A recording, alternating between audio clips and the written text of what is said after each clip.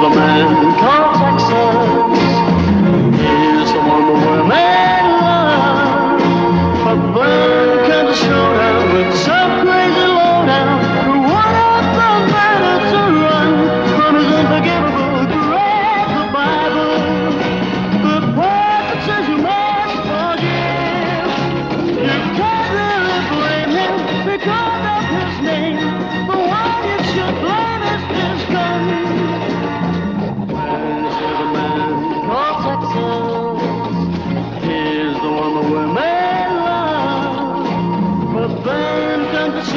will say.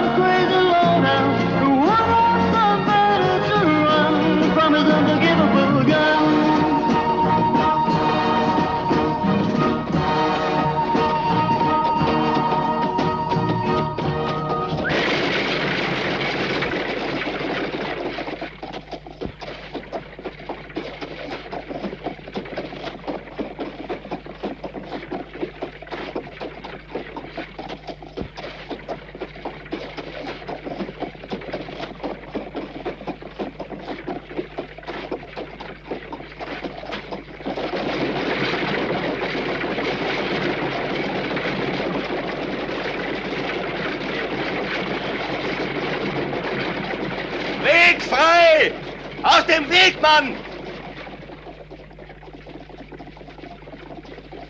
Hey, Soldat, was ist? Kennst du da vorne? Reitet auf den Ohren. Verzieh dich! Hey, ich meine nicht da vorne, bist du taub? Du kriegst gleich was über die Rübe! Sowas? Hast du das verfolgt? Hier! Hier! Hier!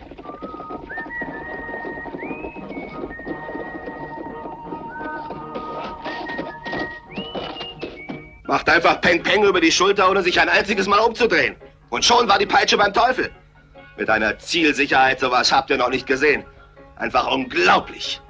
Also ich muss gestehen, ich war vollkommen geplättet. Ohne sich umzudrehen?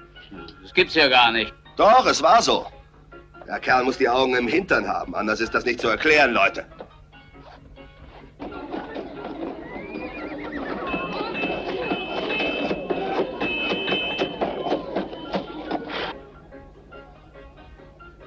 Dort ist der Kerl.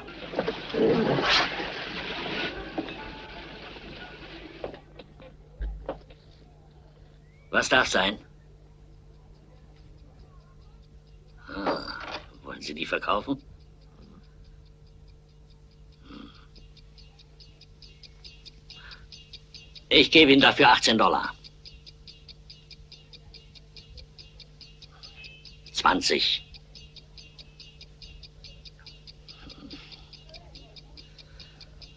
Fünfundzwanzig. Ich weiß, sie ist aus Gold, aber davon gibt's mehr als genug hierzulande. 25, das ist mein letztes Wort. Fünf, zehn, 15, 20 und 25.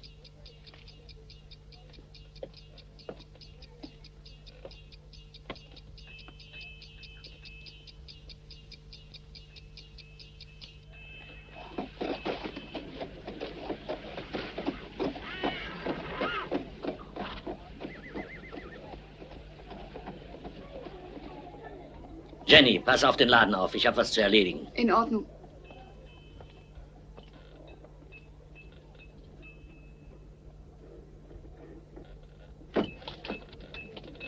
Als ich die Bilder sah, habe ich die beiden sofort erkannt. Ich dachte mir, dass sie die Sache interessiert. Jedenfalls wollte ich Ihnen gleich Bescheid geben. Das war doch richtig. Ja, das haben Sie sehr gut gemacht. Schade, dass ich ihm das Geld gegeben habe. 25 Dollar. Sonst hätte ich vielleicht einen Vorwand gefunden, um ihn hinzuhalten. Aber er nahm das Geld und ist abgehauen. Er hat mich so komisch angesehen, als wollte er mir etwas sagen. Indirekt, verstehen Sie? Ich gebe zu, das hat mich etwas irritiert. Und darüber habe ich versäumt, mir das Innere der Uhr anzusehen. Aber als ich sie aufmachte, sah ich sofort, dass sie Prescott gehört hatte. Da habe ich begriffen, was der Soldat von mir wollte. Aber wie er zu der Uhr gekommen ist, also das ist mir schleierhaft, ehrlich gestanden. Ich weiß nur so viel, das Preisgott sie seinem Sohn geschenkt hatte. Und ich habe geglaubt, die Geschichte wäre zu Ende. Es ist doch zum Kotzen! Also dann, alles Gute, Glenn. Papa, wenn du mich brauchst, ruf mich. Ich bin oben.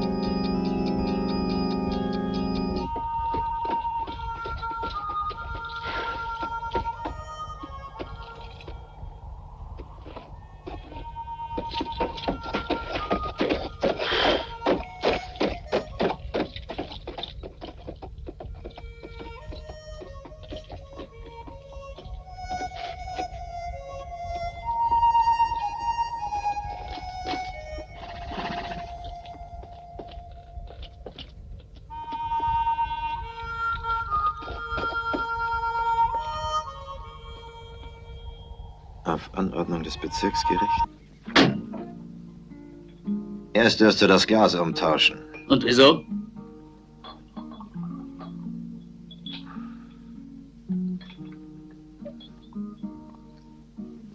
Weil eine Zigarre darin schwimmt.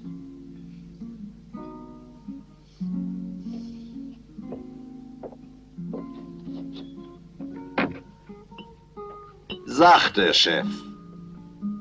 Bier, keinen Whisky.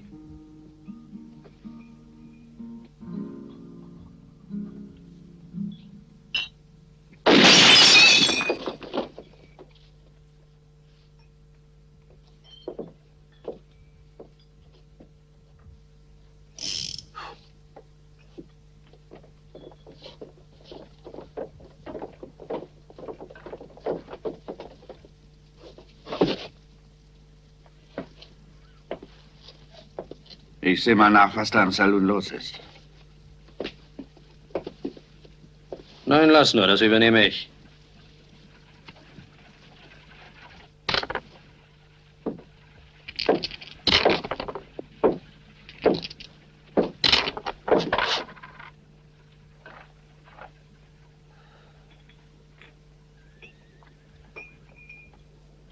Hast du da eben geschossen? Antworte. Ich hab dich was gefragt, Fremder.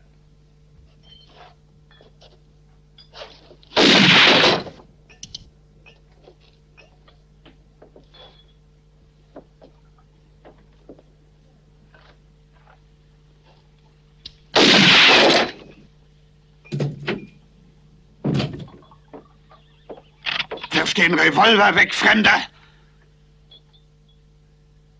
Ich rede mit dir, du sollst die Kanone wegwerfen! Tut mir leid, aber das ist der einzige Revolver, den ich besitze, Sheriff. Den möchte ich unbedingt noch behalten. Halt, Jason, lass das bleiben! Es ist besser, wenn du von hier verschwindest, Fremder.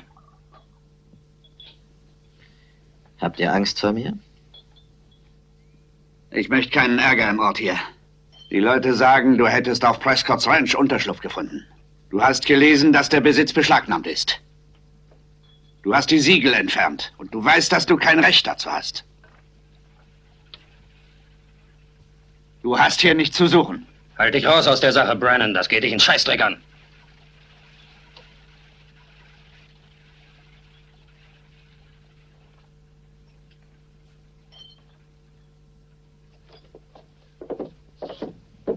Und dir rate ich, dich hier nicht mehr blicken zu lassen.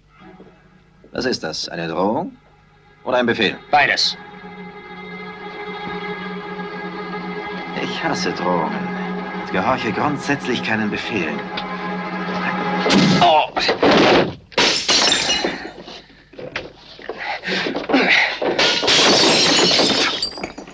Mann hat der einen Schlag. Oh.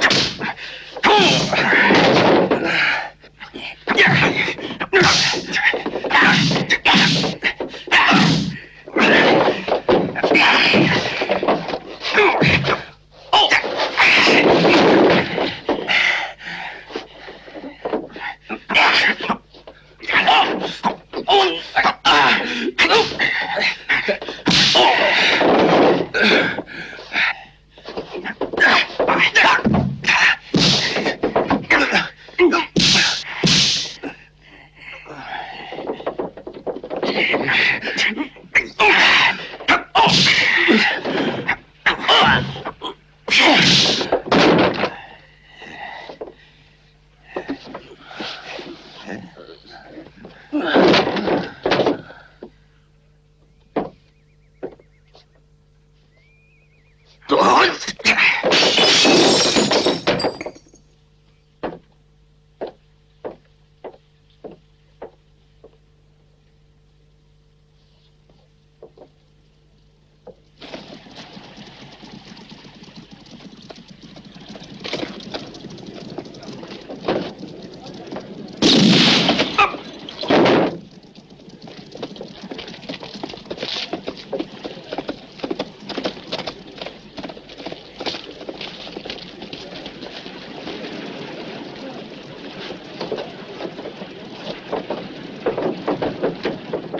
Das ist doch die Höhe. Der Kerl macht, was er will. Nein, lassen Sie, Peter. Ich konnte nichts machen, Mr. Clinton. Er hat Tommy umgebracht. Warum hast du ihn nicht verhaftet? Ja, weil... Äh... Weil der Fremde nur geschossen hat, um sich zu verteidigen. Das haben wir alle gesehen. Er hatte keinen Grund, ihn zu verhaften. Auch Brennen nicht. Was heißt hier auch Brennen nicht? Wenn du seine Stelle haben willst, dann schick den unfähigen Kerl zur Hölle und steh nicht so blöd da wie der Ochse vom neuen Tor. Na los, verzieh dich! Beruhigen Sie sich, Clinton. Man soll den Bogen nicht überspannen.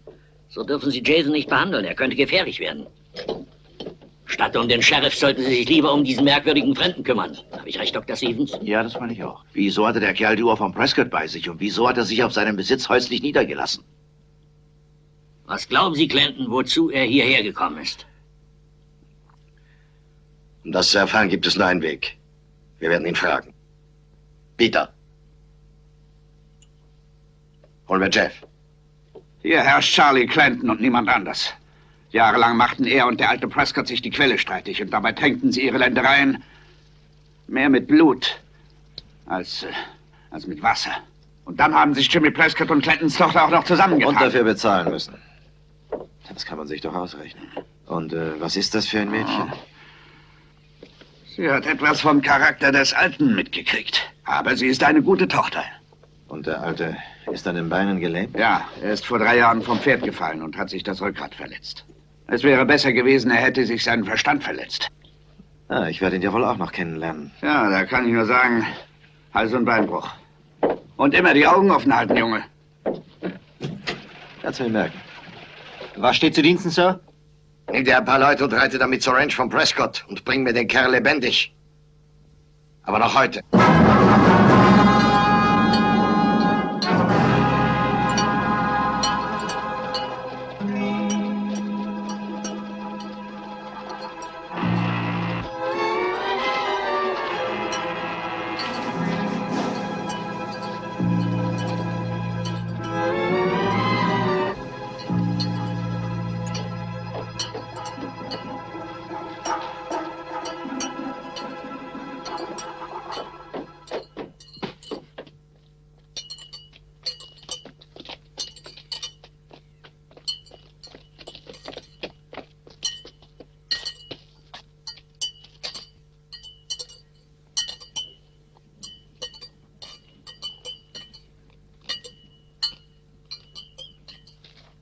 Halt, Pfoten hoch!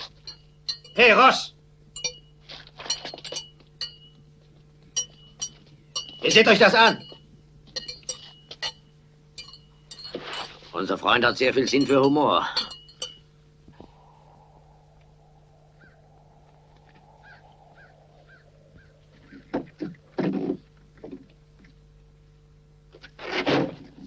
Darf ich den Grund eures freundlichen Besuches erfahren? Charlie Clanton, unser Chef, möchte dich sprechen, Fremder.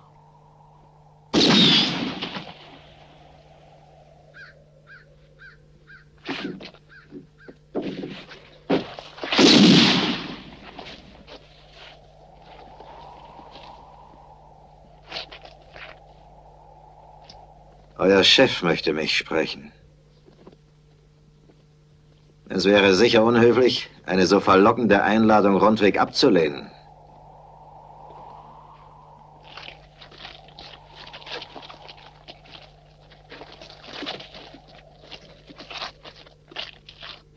Ja, bleibt so stehen. Ich möchte eure lieben Gesichter im Auge behalten. Also Mr. Clinton hat euch geschickt. Ein so mächtiger Herr hat es nicht gern, wenn man ihn zu lange warten lässt. Also vorwärts!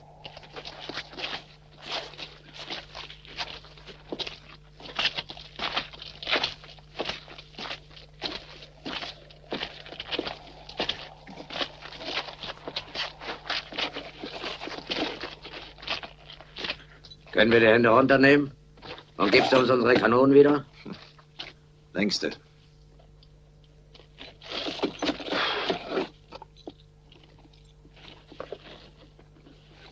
So, jetzt macht euch auf die Socken. Wir müssen rüber zum Eingang. Da haben wir unsere Pferde. Das ist nicht drin, Glatzkopf. Ihr werdet schön zu Fuß gehen. Aber zur Ranch ist es weit. Das Wandern ist des Müllers Lust. Los, bewegt euch.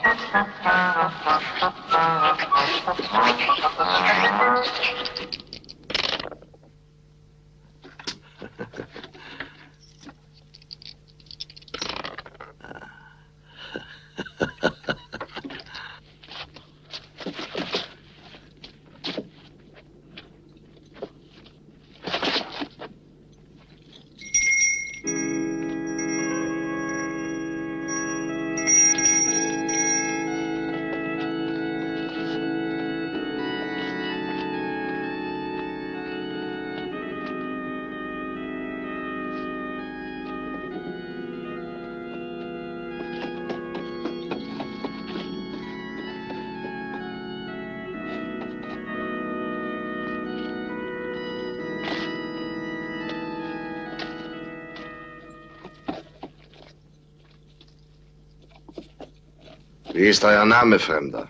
Man nennt mich Texas.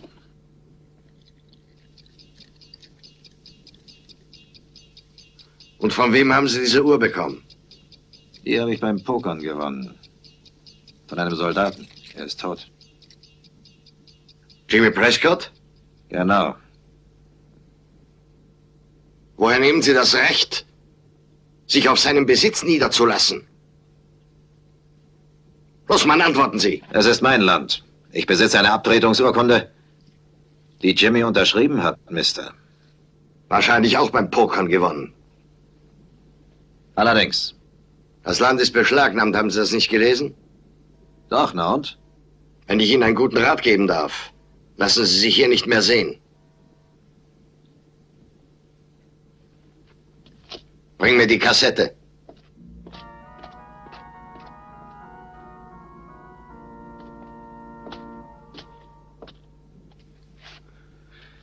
Hier ist sie, Chef.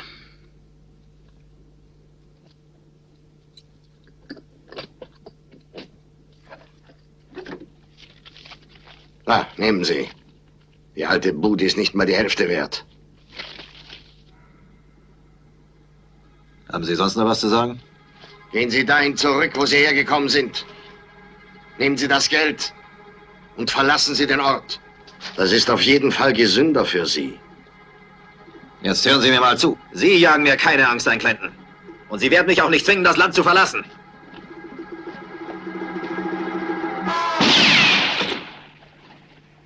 Stehen bleiben und Hände hoch.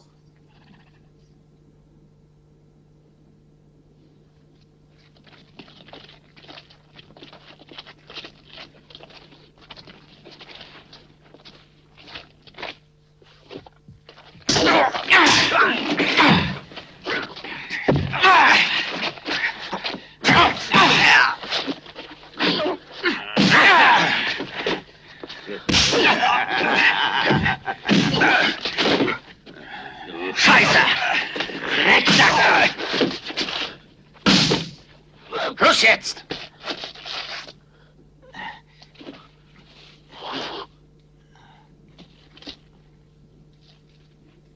Gebt ihm das Geld und dann werft ihn raus.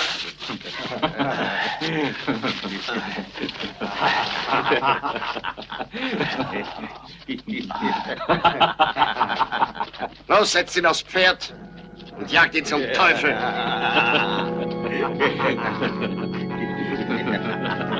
哈哈哈